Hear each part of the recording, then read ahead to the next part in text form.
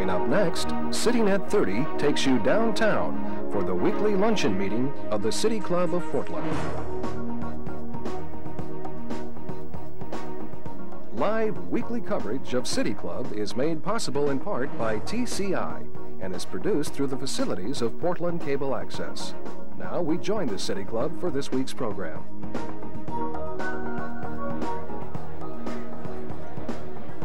Good afternoon.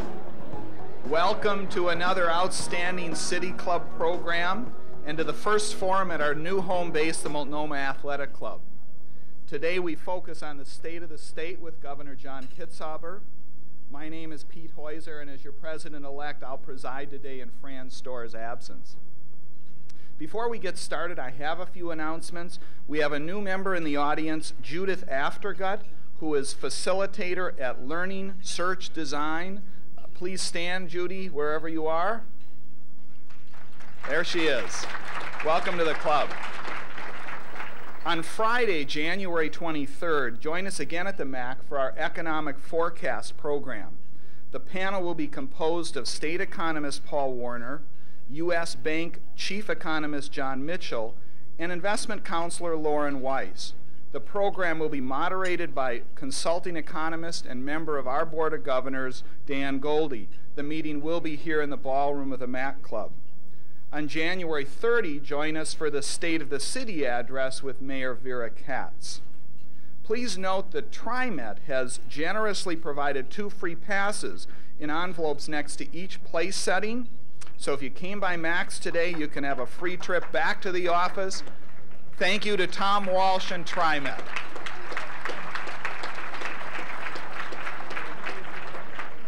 Today we begin a special membership drive for new members who join prior to September 28th, the $25 setup fee is being waived.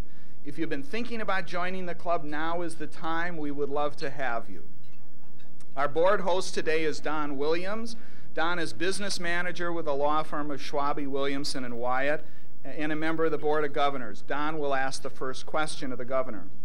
Following Don's questions, we will open the, the, program to questions from other City Club members in the audience. As always, please identify yourself as a member and limit your question to 30 seconds. Don gave me his watch with the second hand on it, so I will be enforcing that, so please abide by it. Again, we look for questions and not speeches. Broadcast of City Club programs this quarter is made possible in part because of the generous corporate underwriting from Portland General Electric, Wells Fargo Bank, and Providence Health Systems. We're grateful for their support. Now on to our program. City Club is honored to host Governor John Kitzhaber's State of the State address. We in Oregon are fortunate to have a governor with the political courage to lead us where we should be going. He has advocated real change when change is needed and has encouraged us to stay the course when that is in the state's interest. Governor Kitzhaber has an opportunity to make a real difference in the next year. He has an administration in Washington, D.C., which he has proven he can work with and has challenges which need to be addressed. Only three months ago, Governor Kitzhaber announced to the City Club the formation of a state, federal, tribal forum to attempt to establish a unified policy regarding Columbia River salmon. His leadership of this forum will be necessary in order to reach a solution which will effectively balance economic interests with tribal, fishery, and environmental concerns. The governor has taken strong positions on the siting of prisons because he felt it was right for the state to have a facility in the Portland metropolitan area. His continued leadership on this highly emotional issue is needed as well. As a practicing physician, Dr. Kitzhaber knew more than any other politician about Oregon's healthcare system, and he used that knowledge to establish, in his political clout to pass, the Oregon Health Plan. But as the federal government uh, forces changes to our plan, the same expertise and political power will be needed in the future. For the first time, Oregon, like so many other states, is becoming dependent upon lottery dollars to fund education. Some have been critical of this funding source, but few have questioned the, the need to maintain adequate funding for schools. Jack Bierwirth recently pointed a finger at all of us for not caring enough about our schools, but maybe we just need someone like Governor Kitzhaber to point us in the right direction. Perhaps the single most important issue facing the governor this year is the state's financial system.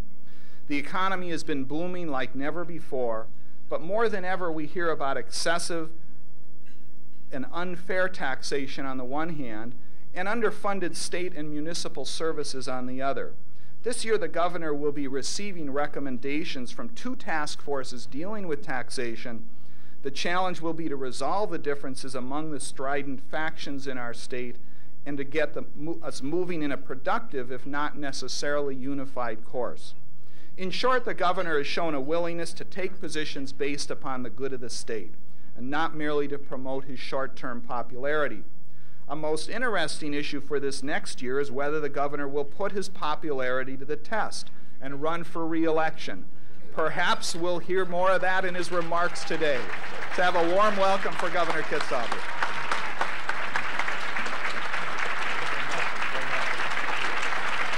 Thank you.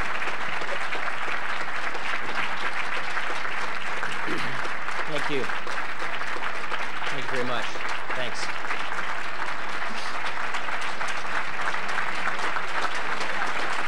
Thank you. Thank you very much.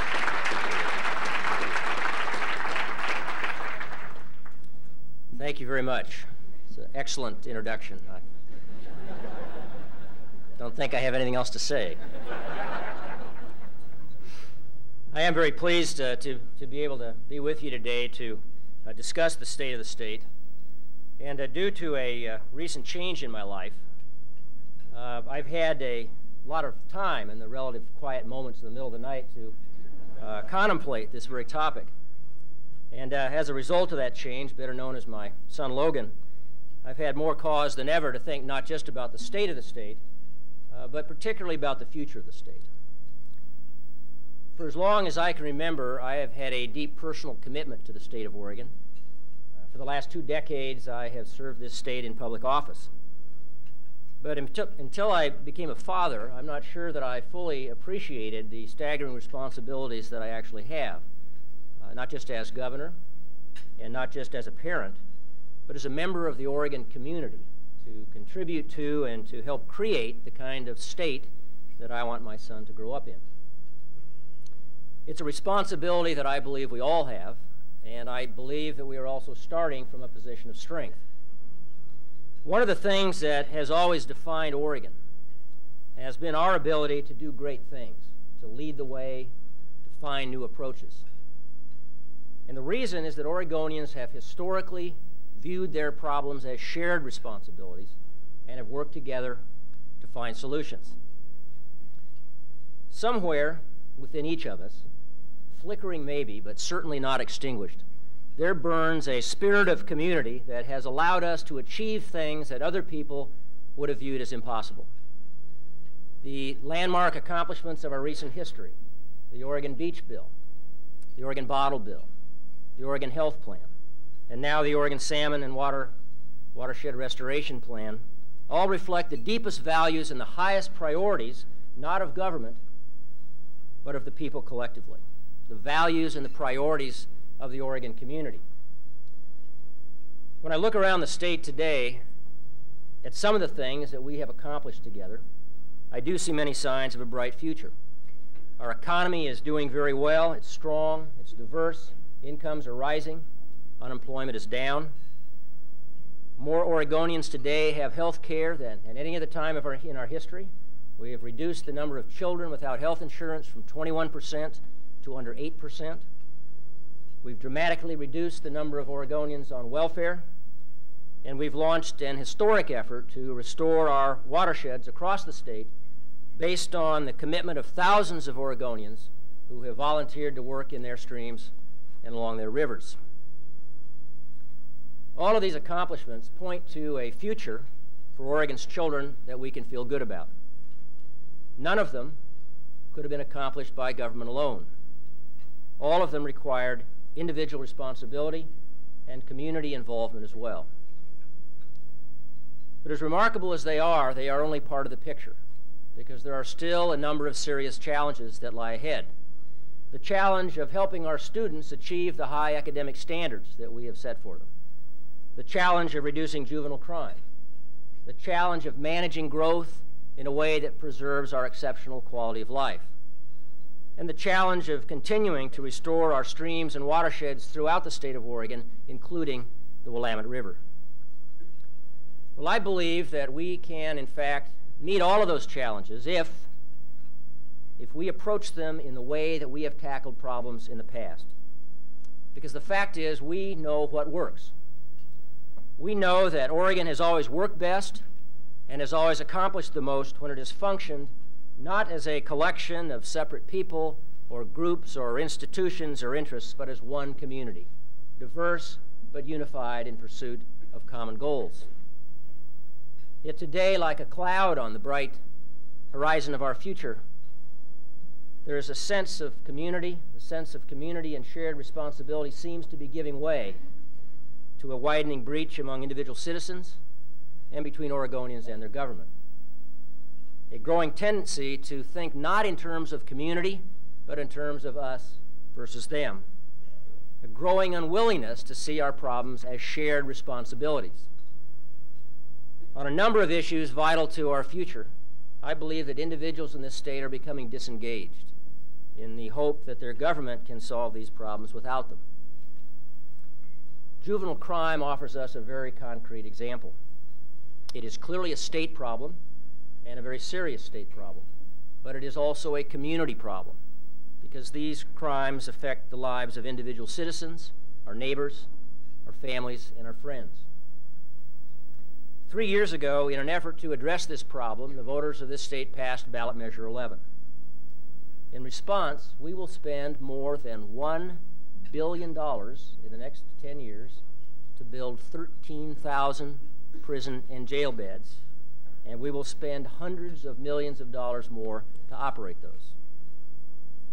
Yet, despite this enormous expenditure in public funds, which has come primarily out of education, Oregon is not, in fact, a safer place to live.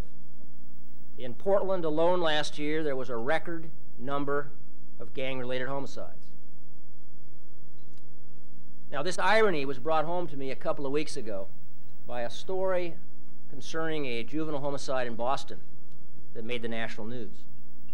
Now, why, you might ask, would a juvenile homicide in Boston make the national news? Because it was the first gun related killing of a juvenile in that city for 29 months. 29 months.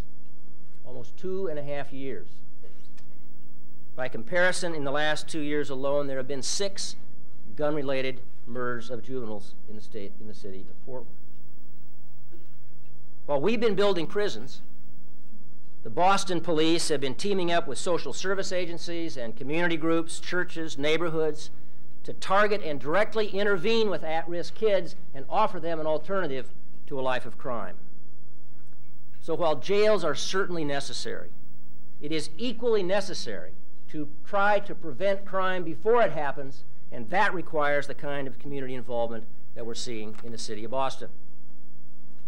Now, I share this with you because I think it highlights what we already know here in the state of Oregon that real solutions require not only state leadership, but also individual responsibility and community involvement as well. And we can't simply hand problems off to the state because that is another way of saying this is no longer my responsibility. And the fact of the matter is that the challenges facing Oregon are our responsibilities, both individually and collectively. Oregonians should know, perhaps better than anyone else, that unless problems like crime and education and growth and protecting our environment become not just state problems, but community problems. Unless individual Oregonians work together as a community, then we are simply not going to be able to achieve the kind of future that I think all of us want in this state. And I do believe that we share a common vision of the future. Not something abstract or intangible, but something involving real conditions that affect the lives of real people, especially our children speaking for myself, not only as governor, but as an Oregonian and now as a father, I can describe for you the vision of the state that I want for my son and for every other child in the state of Oregon. I want our children to be able to spend their early years in an environment where they can be healthy and safe. An environment that fosters a sense of security and self worth, and that opens their minds to what's best in the world the wonder and beauty of nature, and books, and laughter, and family, and friends, and strong but simple values like compassion and responsibility.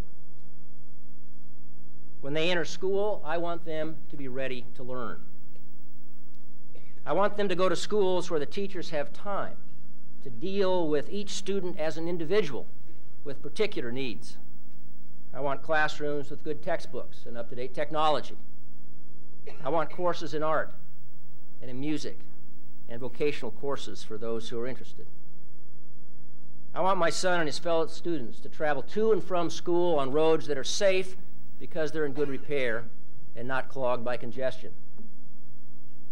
I want them to be able to visit parks and public libraries and to fish in unpolluted streams and to hike in mountains and forests that look pretty much the way they did when I was young. And when they enter school, when they enter high school, I want my son and his friends to be ready to achieve the high performance standards that we have set for them. And I want them to go to schools where they won't have to be checked for concealed weapons and where they won't be tempted to use drugs or join gangs in order to attain social acceptance.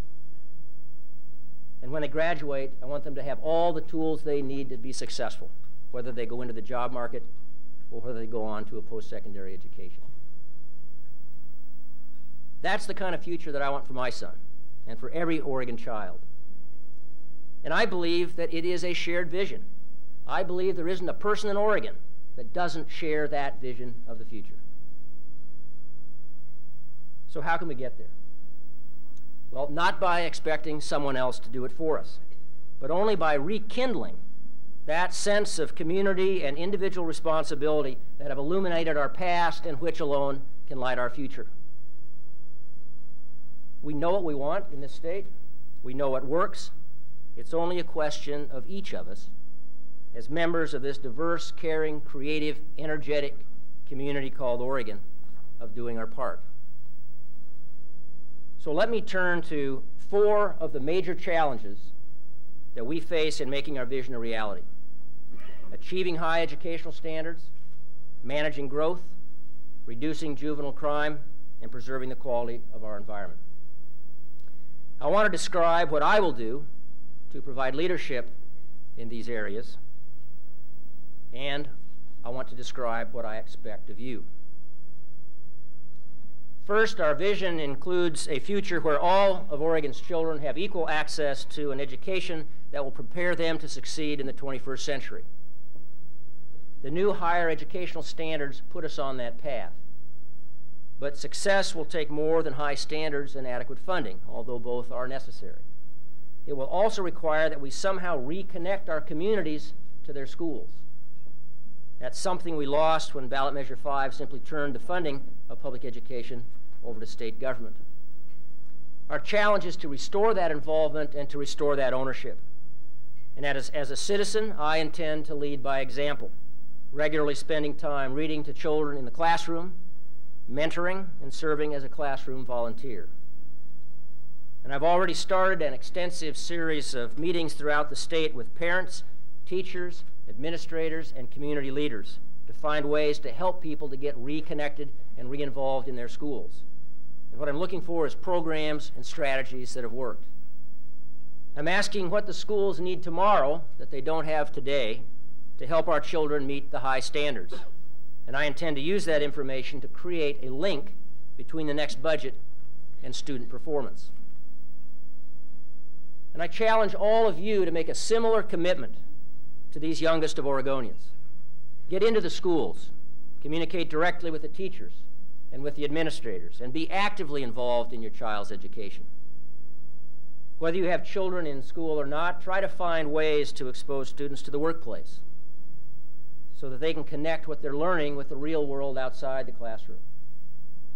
And I call on all Oregonians to reach out particularly to those children whose parents may be working two jobs just to keep food on the table, who don't have time to read to their children or to help them with their homework or to give them the proper guidance.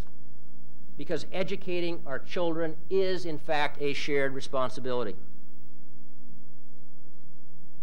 Second, our vision of the future is one in which we have congestion-free roadways. It's a vision of open spaces.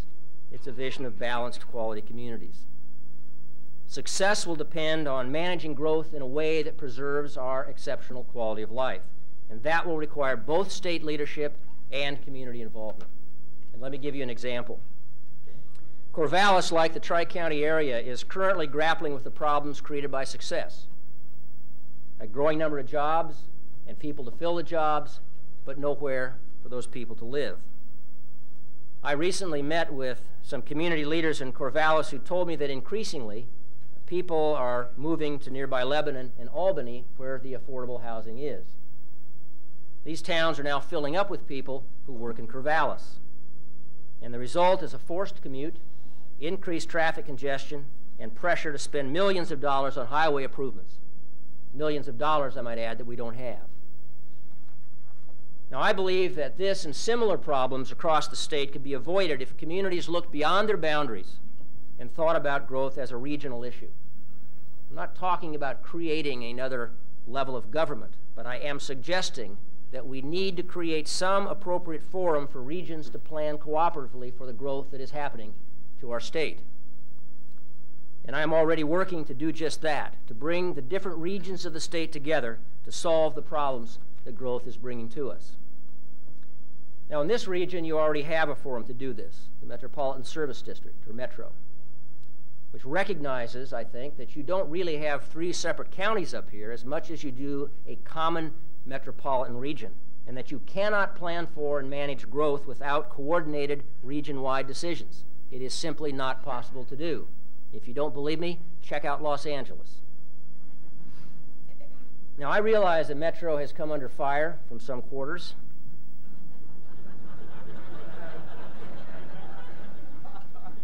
And I don't think anyone will argue that Metro or, or any governmental entity can't, can't improve its governmental functions. So I urge you to make Metro work better, yes, but do not throw out this landmark effort to plan for and shape your own future in the Tri-County area.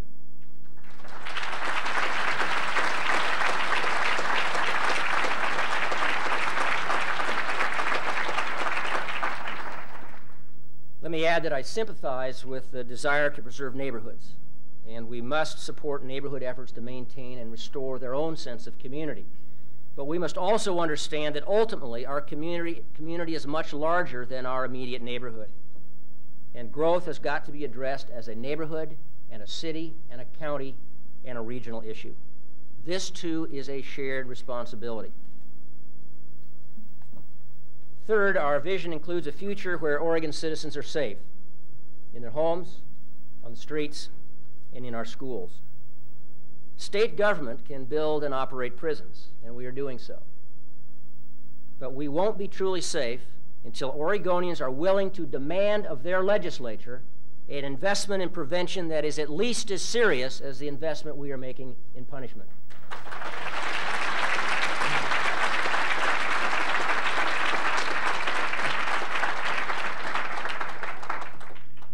Nor will our communities ever be truly safe unless those within the communities are willing to reach out and support families and especially children at risk, unless they participate not only in their neighborhood watch, but also in their Boys and Girls Club.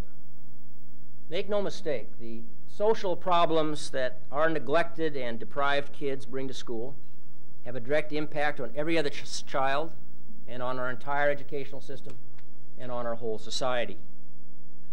In the coming year, I will make the support of community-based juvenile crime prevention my top public safety priority. And I believe that if we could spend just a fraction of what we are spending on punishment on kids who need help the most, that we could, in fact, begin to turn the tide on juvenile crime. And that we could stop these kids from hurting others, but just as importantly, we could keep them from ruining and wasting their own lives. We know who these high-risk kids are. And we all know what will happen to them and to us if they're ignored. I'm convinced that caring and intervention at the community level can do what no government program can ever hope to accomplish. This also is a shared responsibility that we must shoulder. Fourth, our vision includes a nat national uh, environment marked by clean waterways and healthy fish habitat. I will spend the next year working to make the Oregon Salmon and Watershed Restoration Plan a success. In the next year, I will also lead the effort to restore the health of the Willamette River by implementing the recommendations of the Willamette River Basin Task Force. Both of these efforts are based on a philosophy which I deeply embrace that we can accomplish more for our environment and for our sense of community by helping people do the right thing than by simply punishing them for their past practices. That we will accomplish more for a watershed when a community has made it a priority than when a state has made it a mandate. Now, as people who are lucky enough to live in this beautiful state, you must also play your part by managing your life in a way that minimizes adverse impacts on the environment.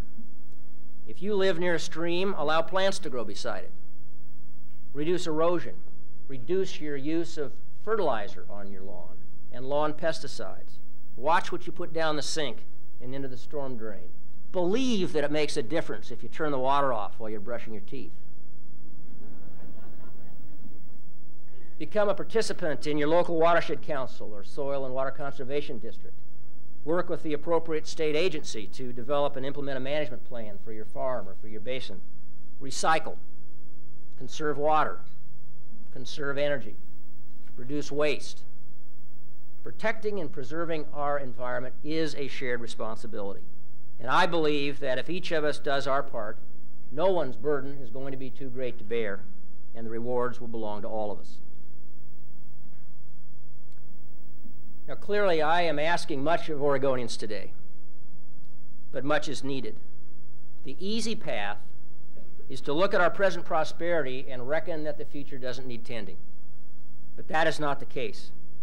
Just as you cannot bring into the world a healthy, normal child and just assume that his or her future is assured with no more effort or responsibility on your part. The same is true for the state of Oregon.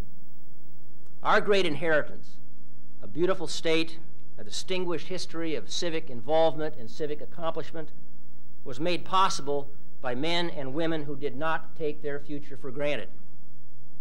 It was made possible by people who never questioned the principle that individuals with ideas can make a difference. It was made possible by Oregonians who had the determination to put those ideas into practice. And it was made possible by people who loved Oregon enough to get involved, to take responsibility for meeting the challenges before our state, and in so doing met them. Well, I refuse to believe that those people no longer exist in this state of ours. I refuse to believe that Oregonians today are unwilling to help their children learn, are unwilling to keep children from turning to lives of crime, are unwilling to help our communities grow well, are unwilling to keep our streams and rivers clean. Instead, I believe that we are as capable today as we have ever been of solving our problems and meeting our challenges. I believe that the spirit of community that made Oregon great burns as brightly today as it has ever burned, and that if we work together, no dream will lie beyond our grasp. American novelist James Agee once wrote that in every child who is born, no matter in what circumstances and no matter of what parents, the potential of the human race is born again. Let each of us do our part to ensure that the state of Oregon and the community of Oregon, for us and for our children, remains the best place in the world to live. Thank you.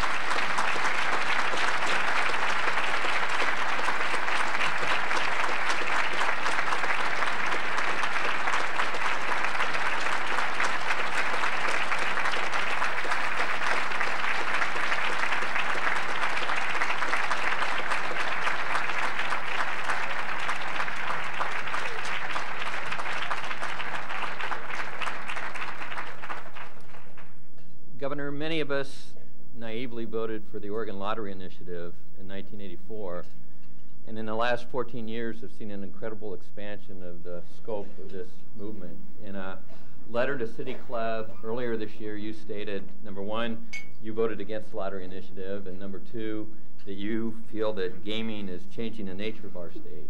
And I'd like you to address what we as concerned citizens who many of us feel powerless to stop the momentum of this um, industry can do and what your position is.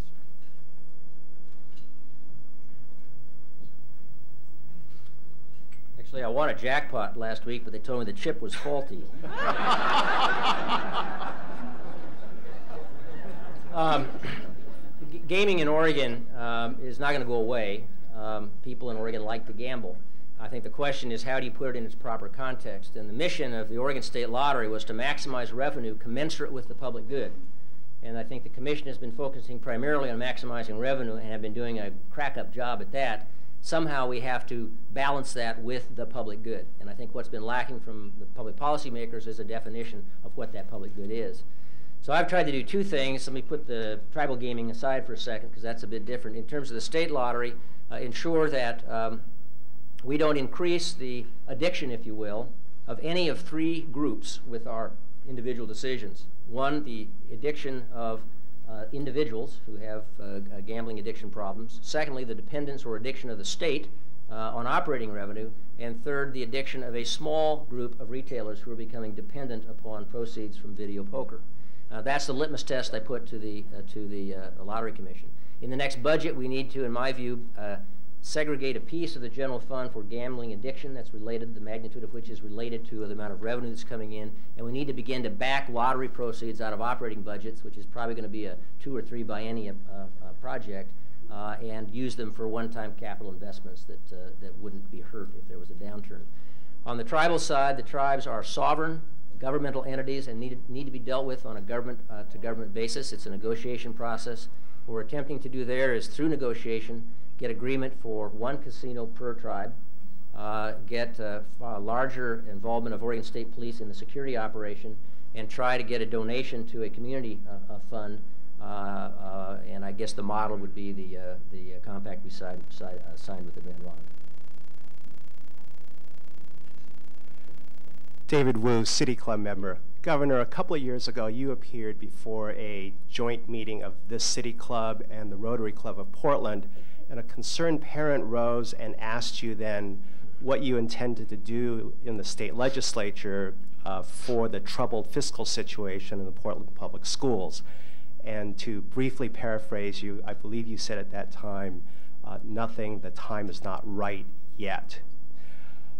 Now I'm asking you as both governor and parent, are you ready to step up and do something both in Salem and in Portland to help with the fiscal situation for the schools in our community?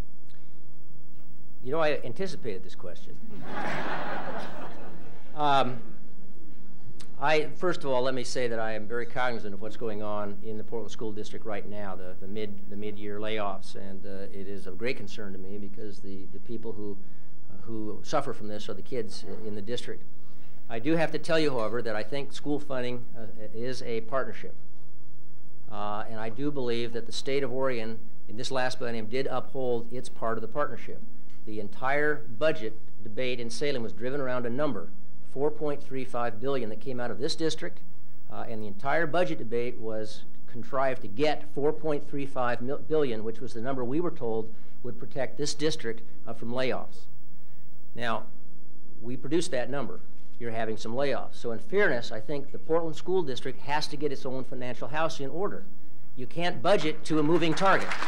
Um, now, that's not a hostile answer, I think, but I do think that in, in fairness, we have to know what the real number is, and, you, and there's a credibility issue involved here. The best way the best way you can help me help you get an adequate budget for schools is we've got to be able to explain to the legislature and to parents and to the general public what those dollars are buying. And that's really what I'm doing right now, trying to get the information necessary so we have better tools to defend, the K through 12 budget.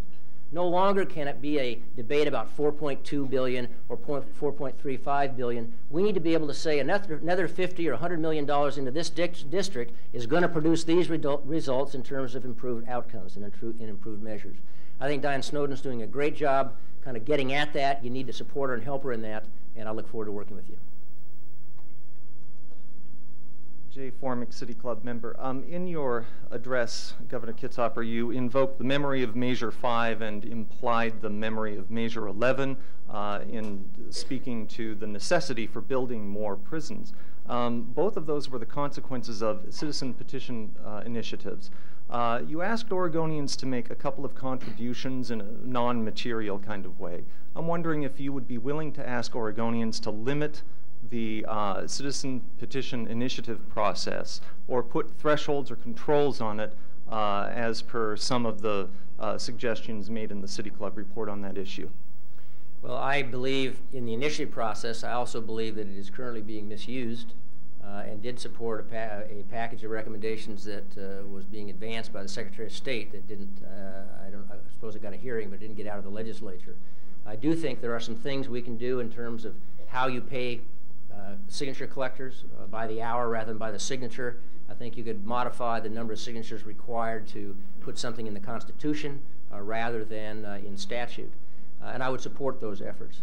Uh, the ultimate check on the initiative process, however, rests with everybody right here in this room. You don't have to sign them and you don't have to vote for them.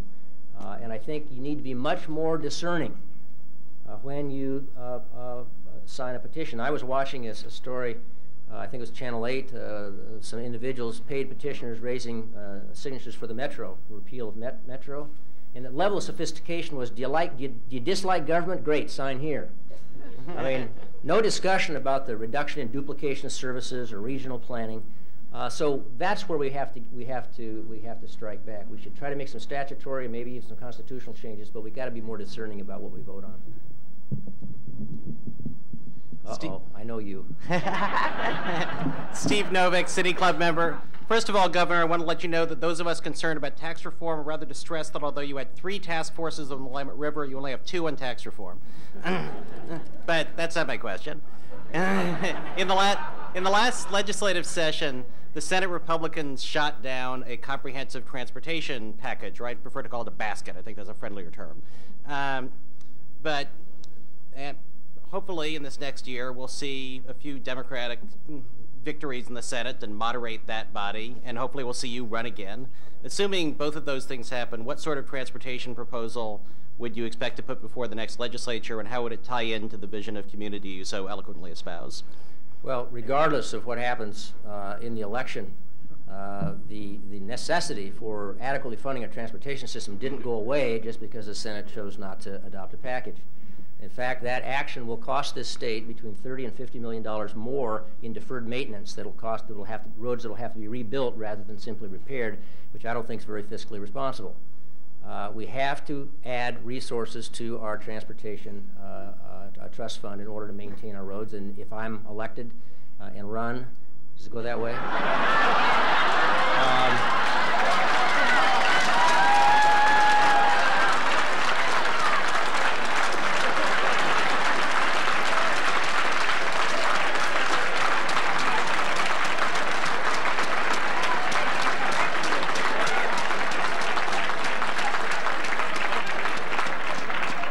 of the one of the things I'm trying to do is figure out how to get elected without running.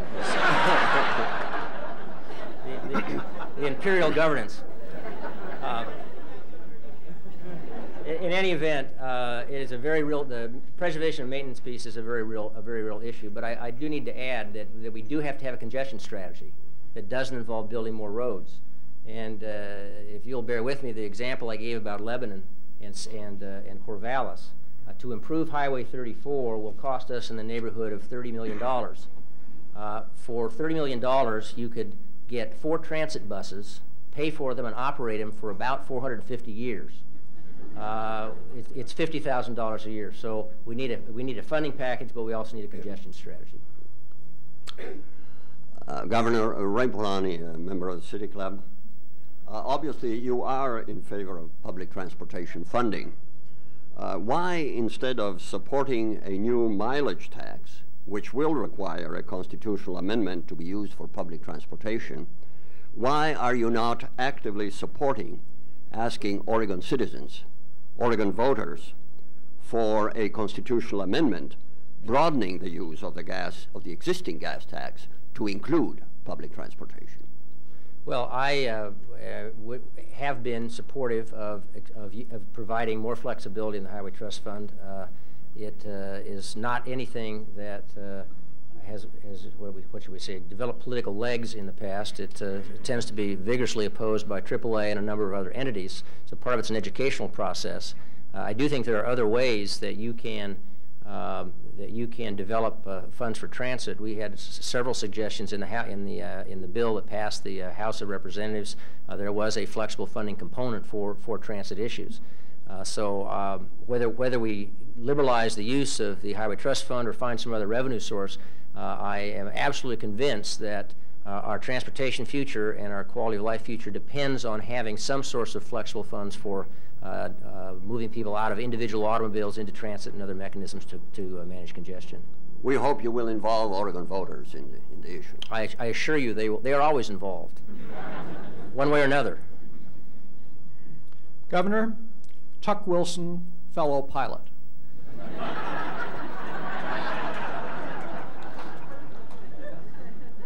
the growing instances of juvenile gun violence to which you referred has resulted in a recommendation by the Portland City Council, the Multnomah County District Attorney, the Mayor of Gresham, the editorial page of the Oregonian, that a governor's commission on gun violence be appointed. Will you consider the appointment of such a commission? The answer is yes. I've been uh, having conversations with the Attorney General, with Attorney General Myers on that on that very topic, and I think we all agree that uh, this is a, a, a, terrible problem that needs a very high level of attention. I can share with you uh, one of the strategies that was, was used in Boston, and, and forgive me, I'm not, I, I, I, imagine this is also being considered here in Portland, but they call it street workers. Uh, these are people who actually get out there and talk to the gangs, and, and you can identify who these, who these young people are. And the cost of that program was about $21,000 per year per, per uh, street uh, uh, worker. They hired 50 of them. And let me just give you the statistics. Uh, the number of youth 17 and under charged with violent crimes decreased 50% in the three years the street workers have been in place. Violent crimes down 20% in the public schools. And before two weeks ago, not one juvenile had been uh, killed by a gun in Boston in 29 months. So these strategies work. Uh, Governor uh, Gary Smanovich, Holistic Planning Resources. And this is, I've followed the siting decision of the prison in Wilsonville for some time. Uh, you know, it's very controversial. Uh, you know, the residents there don't like it. And siting prisons anywhere is, is very difficult.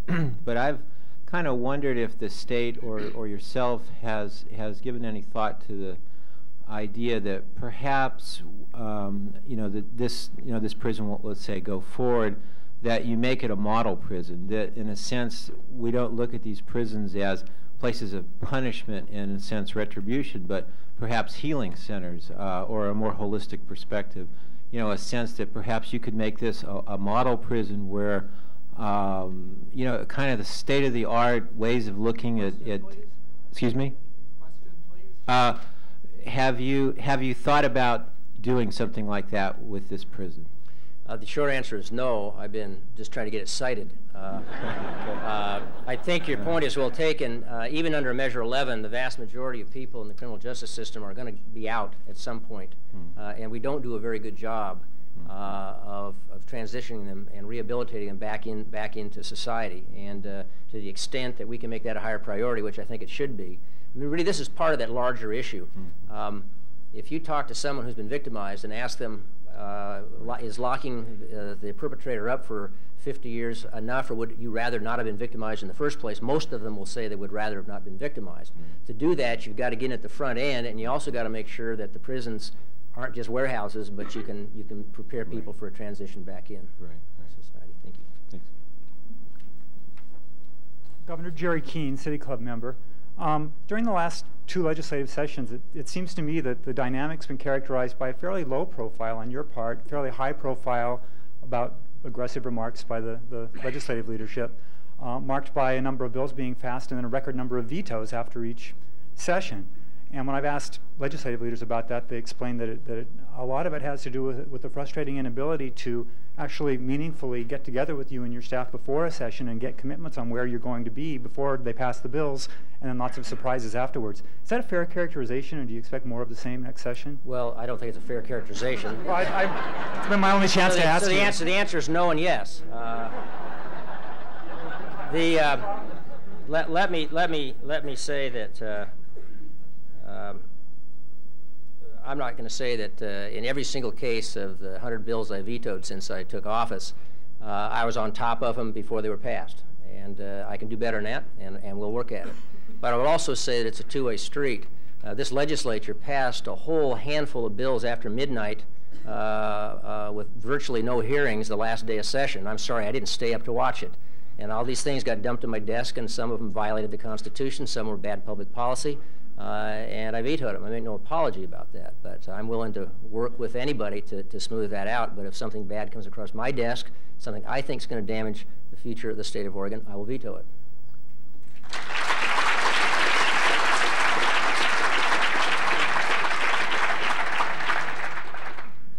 Ted Kay, City Club member. Governor, in your opinion, what is the optimum tax structure for the state of Oregon? I can handle that.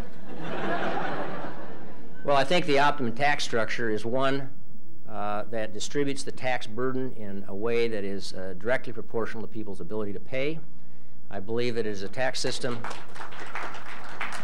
I think I know you too.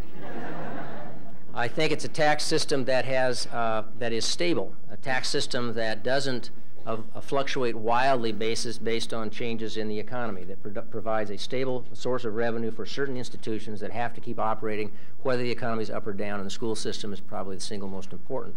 And finally, it's a tax system that reflects the social and economic objectives of the state. If, in fact, we're trying to uh, uh, encourage the expansion of small businesses or value-added processing in the wood products industry, the tax system ought to encourage that rather than discourage it.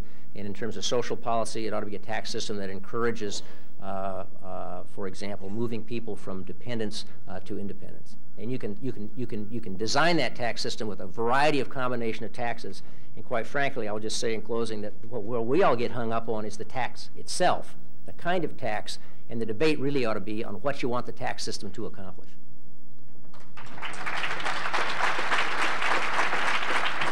Governor Scott Staff, City Club member, you spoke much about K through 12 education and even pre-K education. Now that the cat's out of the bag, you're on the hook for another four years. What are your goals for higher education in the next four years? And if there are redundancies in higher education, how will you exercise leadership to eliminate them? Um, I'm actually very glad you brought this up because uh, the four issues I mentioned I think are, are central issues, but this, the state of our post-secondary system is, is extraordinarily important.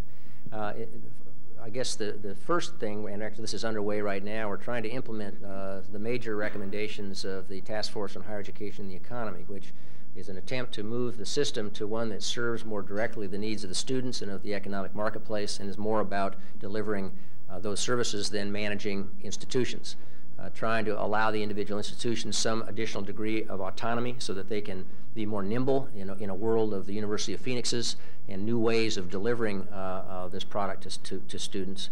Uh, and also trying to develop uh, much better transferability between all of our post-secondary institutions. So students, for example, could uh, for example, get, get their first year of, of a four-year college education at Mount Hood Community College with transferability to the University of Oregon to deal in part with, it, with the uh, capacity issue. I will tell you that to make that work, uh, we need uh, additional resources into the system of higher education. We are extraordinarily low, uh, I think nationwide, in terms of our per capita commitment to post-secondary education at a time when everyone acknowledges the importance of a post-secondary education to be successful uh, in the marketplace. So I'll continue with the, to implement the recommendations of both the task force on higher ed and the economy and on, the, on college access, and we'll try to get additional resources in the 1999 budget. I'm Susan Hagmeyer, member of, the, of City Club and of the Portland School Board. And I want to clarify quickly that the number that came out of the Portland District for the first year of the biennium was 334 million. And the responsibility for figuring out how much it took statewide for the biennium to generate that for Portland resided with the Legislative Revenue Office. Um, and uh, we did not, in fact, get 334 million for the first year of the biennium in Portland. Um, my question is, do you have any plans to reform either the funding formula for public schools or the funding schedule for Portland for public schools? Because um, because the schedule by which we find out how much um, we get for any for any year uh, causes us to make mid-year corrections because we don't actually find out until uh, the year is already underway. Well, um, if you get two bites at the apple, so do I. The fact of the matter is, I was in Salem, and we could never get out of your previous uh, superintendent of public, or your uh, Mr. Bierwirth, the right number. The number changed on a weekly basis. It's very difficult. 334 million from the first well, right, I sat right with you many times, ma'am, so um, I'm not going to debate that with okay. you, but uh, I'm not going to say that the Portland School District doesn't have some responsibility, not to have a chief financial officer, for God's sakes. You do have a little bit of responsibility and accountability in this, and I expect you to deal with that, and I will do my part down at the legislature. Uh, in terms of trying to change the uh, uh distribution formula, absolutely. We have a distribution formula right now uh, that gives you uh, last year's enrollment plus inflation, and then you get more based on certain types of students. For example, you get, I think, a weight and a half if you have English as a second language. It would take probably a weight of 10 to get me to learn a second language, and some other people can do it on much less. It's a very crude estimate.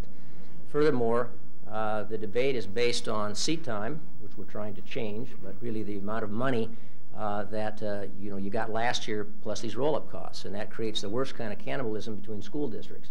So you've got to change the definition of adequacy to what it takes to get kids to the certificates of initial and advanced mastery, and we have to change the definition of equity from a per pupil expenditure to what it takes for any kid in any district to achieve those levels. That's going to take a significant change uh, in the distribution formula, and we do need a better way to have the school districts plugged in to the accounting process than we do right now. We have a, a, a, a sort of a um, system in which the state pays the resources, but the individual districts have to negotiate the contracts and spend those resources, and that doesn't work and needs to be addressed.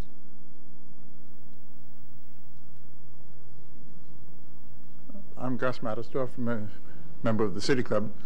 Uh, I ought to say, say that I don't have any specific uh, commitment of yours or political pronouncements in mind. Uh, but you've spoken about the interrelationship between state policy and community policy. Uh, I wonder what you can teach us about the relationship between the state and the federal government. How is that working out in broad terms? Uh, what's working, what's not working, and so on? Well, we have a couple of things I think that are working very well. One of them is the Oregon option, which we, uh, which I signed with uh, Vice President Gore just after taking office. This was something that Governor Roberts was very instrumental uh, in developing and setting up, and she deserves the credit for it. Uh, essentially, it, it, gives the state broad flexibility uh, in uh, delivering certain types of social programs as long as we meet uh, certain uh, out outcomes. So we assume accountability for delivering the product. They let us decide how to do it, which gets you out of a whole lot of bureaucratic red tape. And, and our welfare reform program is, a, I think, a good example of that. The Oregon Health Plan is another example of, of giving us the flexibility to, to create a new way to deliver a service. The other one in the natural resource area uh, that's, that's going very well is the, uh, is the salmon watershed uh, restoration plan, where the federal government has been very supportive of, uh, we're really the first state in the nation that's been given the authority to develop a volunteer-based uh, bottom-up restoration plan. And it's really, as you can see, it's, uh, I know that the, the, jury's still out on whether it works or not, but it has galvanized thousands and thousands of Oregonians and, and developed a, an atmosphere that's far different than the one you saw with the spotted owl. It's a much more collaborative one. Those areas are working, uh, working very well. Uh, we're a little frustrated on transportation uh, issues, uh, and of course we'd always like to get more money back from the federal government. Good afternoon, Governor. Randy. Randy Leonard, former uh, fellow State of Oregon employee. Um, I wonder, uh, I think you've articulated uh, very well for all of us some of the problems we're facing with highways and with uh, primary, secondary education, higher ed, juvenile crime. Can you comment uh, how you uh, how you feel about the Republican leadership this last session, holding tight in uh, sending back over 200 million dollars to corporations in the form of a so-called kicker, half of whom don't even reside in this state, notwithstanding all of the uh, problems we, are trying to deal with uh, in our state. Thanks. I think I get the flavor of your question. well, um, I think, to, in all fairness, uh, the uh, the kicker when we came into to, to the session, when I put together the budget based on the revenue forecast, um, I believed we needed some of that kicker because uh, we needed to adequately fund our schools. We lost a significant amount of revenue from ballot measure 47. We had responsibilities from ballot measure 11 uh, uh, to, uh, to carry out. So I had recommended a budget which did in fact have about an 18% uh, increase. about 14% of that were doing things people ask us to do, implementing the tobacco tax and measure 11 and measure 47. The Republican leadership, to their credit, agreed that we needed an 18% increase, and they passed the budget. Uh, I know that they've been taking me to task lately, but the fact is they had six months in Salem uh, to cut that down to 15, 16, 12, or 10, but they didn't. The reason they didn't, it was a good budget for the state of Oregon. So I still think the kicker needs to be re reevaluated, but I think we produced a, a very credible budget uh, for, uh, uh, for the current biennium. Uh, Governor, you're our leading public philosopher, and I, I thought about you when I read an article by Robert Reich recently in which he said that uh, at one time, at the national level, the Democrats were the party of justice and the Republicans were the party of noble aspiration, and that recently they seem to have switched places. I wonder how you would characterize the philosophical differences between uh, Democrats and Republicans in Oregon. I think I get the flavor of that one too. Um, you know, I, I, really do believe that uh, that in the state of Oregon, and I think this is one of the reasons that it is so enriching to be involved in, in public, uh, public life in Oregon is that this is a state that has traditionally been governed by, the, by a political center. It's been a state uh, that has addressed problems like transportation or education or good stewardship of the environment, not as Republicans or as Democrats, but as things that just have to be done to preserve the quality of life uh, that we have in this state. Uh, and the fact is, if you look at my party or you look at the Republican Party, I can name you people uh, in the Democratic Party who are easily as conservative in the traditional sense of the word as people in the Republican Party and vice versa. So I guess I am a person who uh, believes in partisan politics uh, uh, only up to a point.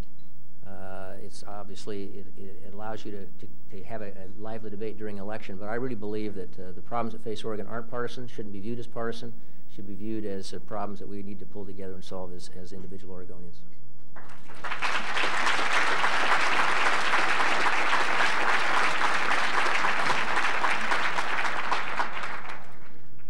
Kurt Wabring, a member of the City Club. Uh, the State Forest Board has recently adopted some new regulations.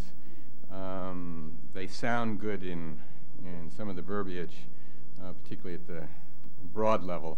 Uh, how can we be sure that uh, the health of the forests are preserved and uh, that we just don't get into a cutting situation, particularly on the Tillamook? You're referring, he's referring to the uh, purpose of public lands rules, which was a, a, rule adopted by the Oregon Board of Forestry to kind of provide guidelines for harvest of the Tillamook, which is now coming online. The rule as it was proposed gave a clear hierarchy to the harvest of the timber. Uh, was a position that I opposed and appeared in front of the Board of Forestry. Uh, they have made substantial modifications in that rule. I know that it does not satisfy everyone, including some of my friends in the environmental community, but I do believe it represents a good balance uh, and I'm comfortable with it. Uh, I will watch it very closely. I also know that the timber industry is extraordinarily invested in our approach to implementing the Endangered Species Act and uh, is not interested in harvest practices that are going to jeopardize our no-list decision uh, on the coastal ESU. So I, I, I, think this is one we should watch very closely, but I think the board did a credible job trying to balance uh, both sides of that issue, and I'm comfortable with the rule that they, that they produced. Uh, good afternoon, Governor. I know that we're out of time, but I, I would like to ask uh, you to think about how you will exercise your leadership in bringing about uh, conversations around race and uh, racial healing and reconciliation in our community of Oregon. That's a national discussion that is underway. I know that you are most aware of that discussion as well. It's not a subject that comes up much here, but what can we expect from you through your leadership? I'll mention two things very briefly because I appreciate we are out of time. We, uh, we already had a, a conference here in, in Portland on uh, overrepresentation of uh, youth of color in our, in our um, criminal justice system. If you want to reduce juvenile crime, you have to deal with that problem. Uh, and I thought it was very enlightening. We, we, uh, we uh, are going to be back in about a year, and we have an action plan to try to implement some of those recommendations. Uh, you and I have, have talked, uh, Senator, about uh, having some forums around the state to, to discuss this issue. I remain very open to that, and, and we'll certainly work with you on that. Thank you. Thanks a lot.